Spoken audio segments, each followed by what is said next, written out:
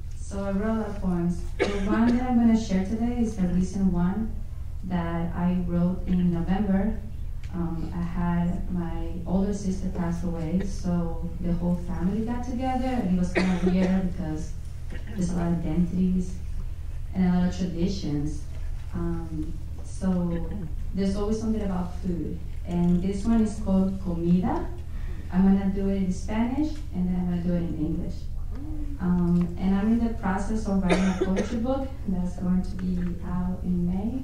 Mm-hmm. And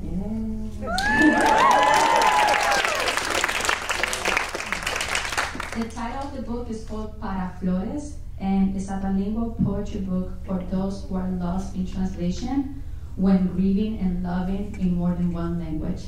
And this one is called Comida.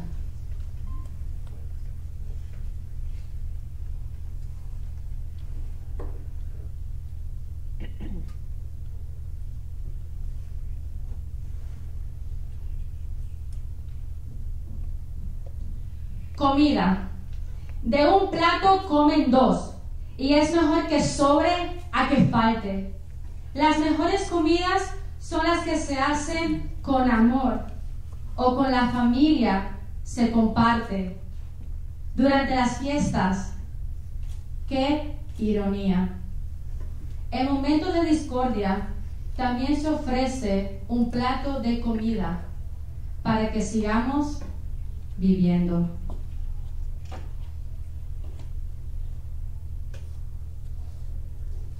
Food. From a plate, two can eat, and it is better to have more than less.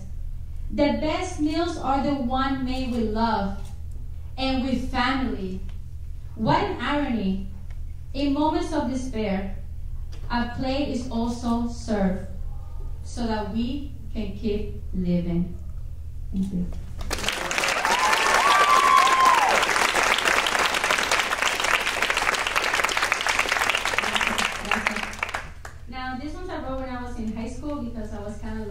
Again in identity and hyphen, like what am I, what am I doing? So this one is called Yo Soy Inmigrante and it's going to be all in Spanish. Yo soy inmigrante. Yo soy inmigrante porque no sé de dónde vine. Yo soy inmigrante porque no sé dónde estoy. Yo soy inmigrante porque no sé a dónde voy. Si nos ponemos a calificar lo que es un inmigrante, él, ella, ella, tú y yo seremos llamados extraterrestres. Porque todos tenemos caras diferentes. Tendremos un pasaporte que diga extranjero. Una lista sin principio y sin fin. No es suficiente venir de la misma madre tierra, tener las mismas necesidades. Yo tengo hambre. ¿Tú no tienes hambre? ¿Qué es lo que tengo de diferente que tú no tengas? ¿Cómo eres mejor que yo si vivimos en el mismo mundo? Tu dinero no te hace mejor. Tu belleza no te va a garantizar la gloria en el cielo. Todos somos inmigrantes. No sabemos de dónde venimos, dónde estamos o a dónde vamos. Miren a los estudiantes que pasan por las calles confundidos en la vida.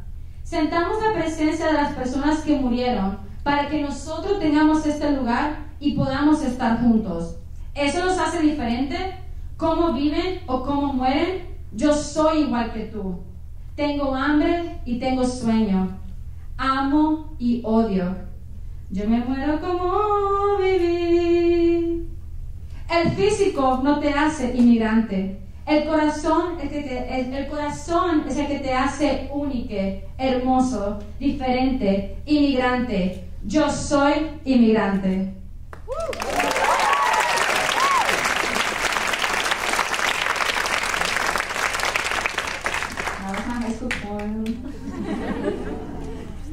I'm bringing the one that I wrote when I was um, a freshman in college. Um, I was still lost in identity. So this one is called Interpretation.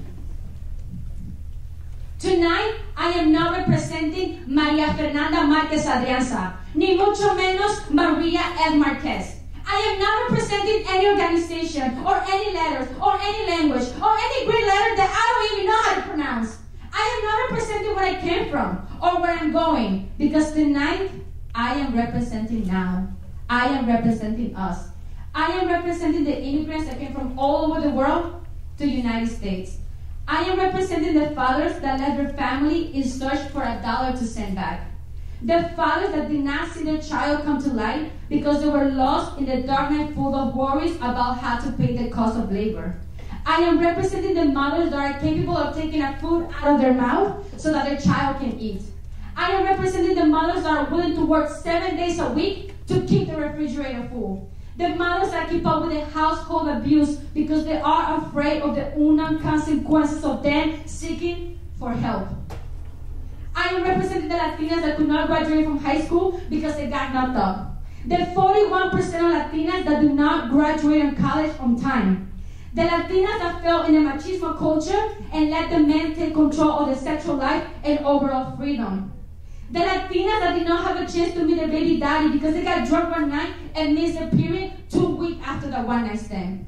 The Latinas that became murderers and killers because they could not afford to damage their family name but had enough to manage an abortion. The Latinas that are ashamed of their size and curves because they want to fit in the size zero society.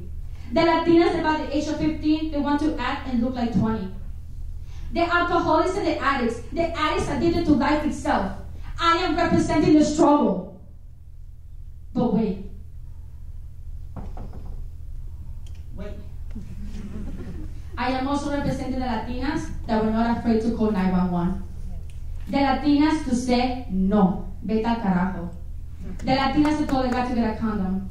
The young mothers that even though they are raising a king while raising themselves, they were able to accomplish their dreams. The 4% of Latinas that finish graduate school. The grandmothers that keep the native tradition going and the delicious food flowing. The fathers across the border in search of the American dream, but did not abandon their family dream. The hustlers that fought for freedom and respect. The guys are not embarrassed to share their love for that one special girl and say, hey baby girl, I love you and only you. I am my ancestral wildest dreams. I am no longer ni de aquí ni de allá. Yo soy de aquí y de allá. I am from here and there. We came all the way to live this moment, to be in this moment. I can still hear the whispers in the background saying, Si se puede, si se puede. It is going to be possible. It will be accomplished. It doesn't matter the interpretation, just the creation of our own culture and our own history. Because tonight, I am not representing a language, a culture, a society, but a nation full of festivities, creativities, and traditions to share with no lines, no walls, no borders.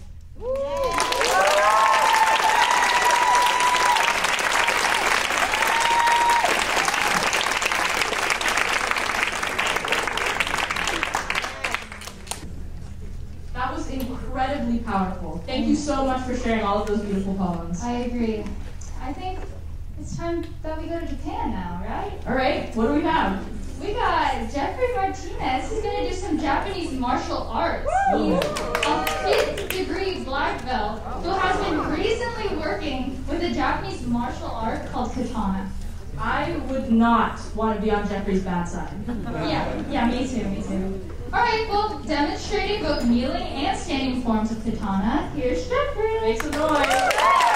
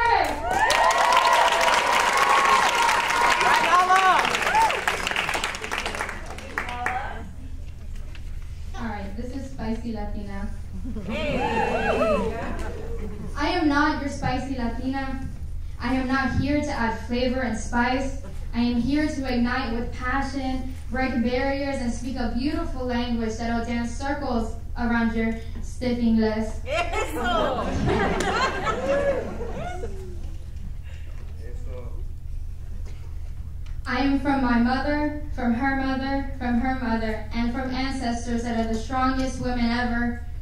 And I, as a matter of fact, I was manifested by those ancestors to live their wildest dreams, which is why I am here on stage. I am not only a spicy Latina that gets mad and, oh, watch out, there she goes again, the fiery, feisty Hispanic. And you know what? Maybe I am feisty.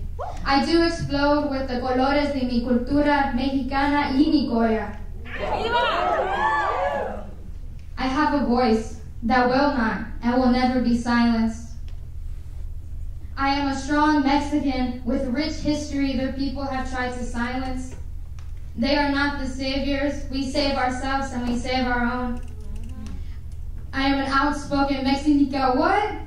And I speak a beautiful language that will dance circles around your stiff English. Gracias.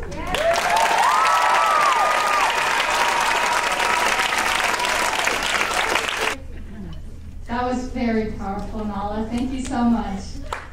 All right, you to introduce our next act? Yeah, I got it.